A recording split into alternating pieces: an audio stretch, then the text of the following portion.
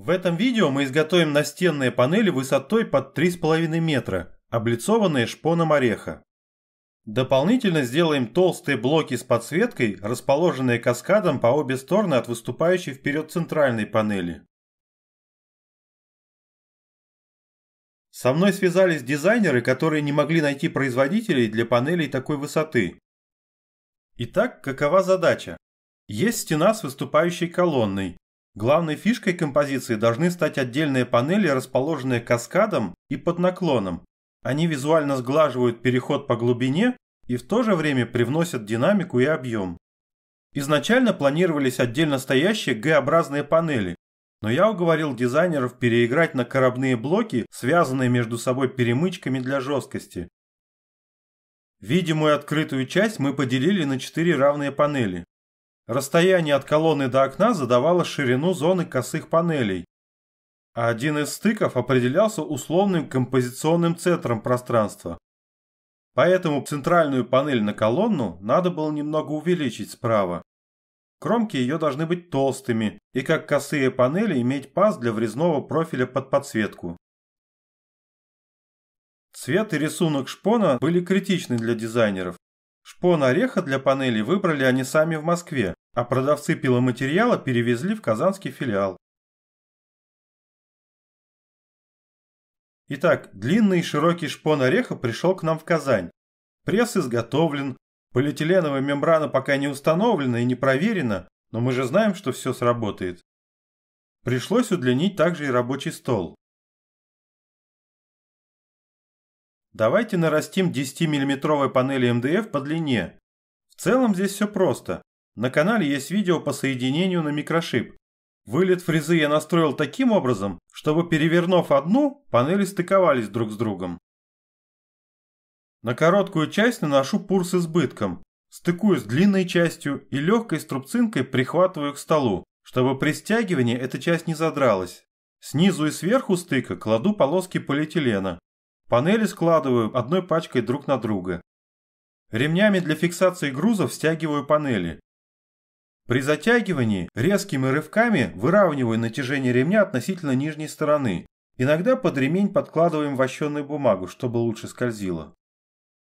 Соединения на шип достаточно прочные, и мы свободно брали панели, как если бы они были из цельной плиты. С лицевой стороны будет еще шпон ореха, а сзади мы нанесем недорогой шпон тополя.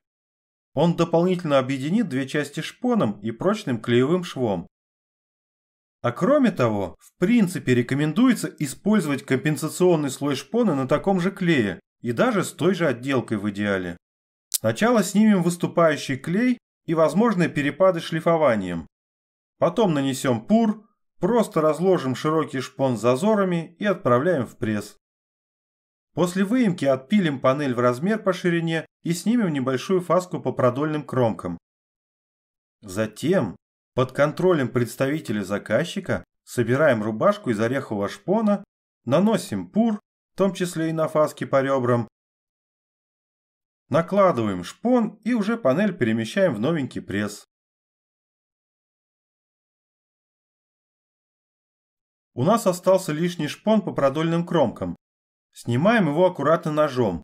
Шпон на скосах остается. Только теперь фрезеруем паз под шпонку. Шириной как раз, чтобы поместилась полоска ХДФ, облицованная шпоном. Шпонка нужна больше для позиционирования двух соседних панелей, ну и для прикрывания зазора между ними. Мы долго думали и в итоге не стали наклеивать дополнительно шпон на кромку. Даже при некотором расстоянии между панелями видно только шпон. Где нужно, мы делаем вырезы согласно схеме, шлифуем и отправляем покрасочную. Сначала укрываем акриловым грунтом чуть пожиже заднюю сторону. Он быстро обветривается и тут же наносим на лицевую. После высыхания шлифуем грунт и заливаем матовым лаком.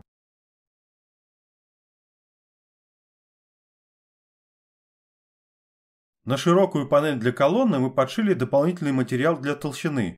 Отделали широкие кромки тоже шпоном. Сделали пазы для соединения с боковыми панелями и для врезного профиля под цвет. Все то же самое мы сделаем и на косых декоративных панелях, подробнее о которых далее. Для начала мы приклеили шпон на 10 миллиметровый МДФ шириной в три наших панели, потом распустили на отдельные полосы нужной ширины. Теперь подготовим элементы короба. Если задняя часть косых панелей связана перемычками, то по переду мы заложили алюминиевый профиль 25 на 25 мм. Ложную обвязку сделаем из остатков ЛДСП 25 а заполнителем будут служить бумажные соты.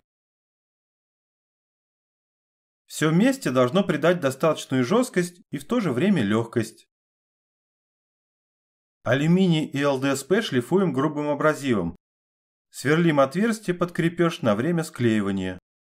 Удлиняем бумажный заполнитель вдвое. Один блок рассчитан на 2 метра. Потом намазываем клей на панели МДФ. На одной из них собираем и крепим слегка обвязку, чтобы не разбежалось до прессования.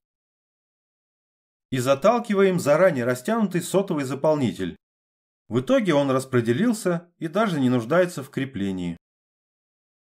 В прессе две панели объединяем кромками. По периметру кладем планки, чтобы мембрана не вдавила продольную закладную внутрь, а заодно и образуется плавный переход, что важно для полиэтилена. Блоки отлежались, и мы выровняли кромки на пиле. Надо облицевать их шпоном, но рельефная структура ДСП мне показалась неприемлемой, и для начала мы выровняли ее с помощью полиэфирной шпатлевки. Дальше нарезаем тот же шпон ореха на полоски с небольшим припуском. Мы подготовили длинные подобия брусков из двойного ЛДСП и полоски линолеума. С помощью них прижимаем полоски шпона сразу к обеим кромкам наших панелей. Свесы шпона снимаем с помощью фрезера, одновременно формируем и небольшую фаску. Уже по грунтованным панелям профрезеровываем пазы под врезной профиль для светодиодной ленты, они будут вклеиваться по месту. После шлифования грунта панели отправляются на лак. Мы просунули в полость алюминиевых профилей квадратные стальные трубы, что позволило нанести лак сразу со всех сторон. На них же подвесили панели во время высыхания.